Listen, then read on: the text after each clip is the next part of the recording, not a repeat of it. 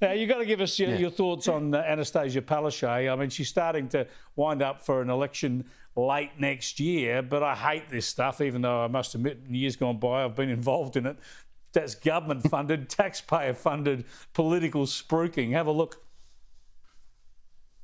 If you know me, you know I don't give in, no matter what. You give me that strength. Every person who stops me with a kind word, every show of support on social media, every little kid who reminds me of where I've come from and why it is so important to follow your dreams.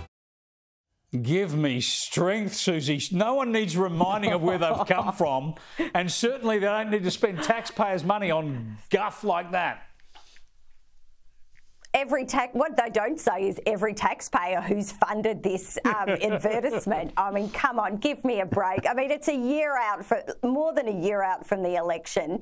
So this was dropped on the day that the uh, the opposition released their blueprint, and it's also come at a time when that government is at, sitting at about 34% approval rating. So this is a desperate act from a desperate woman funded by taxpayers. Give so, me a break. So taking your taking your theory theory to its logical extension, when they put up a statue of Annastacia Palaszczuk, they can say she was Premier of Queensland from such and such and such and stuff, got the Olympic Games, but spent a shed load of taxpayers' money on political spin.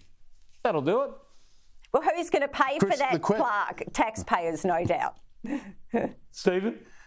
The question is, though, who is she aiming at? Is it the voters of Queensland or is it the people in her own party room saying, stick with me, don't go with the work experience ah, kid? Trust Stephen to get inside the machinations. You're dead right. She's pitching to the party room, not so much to the electorate.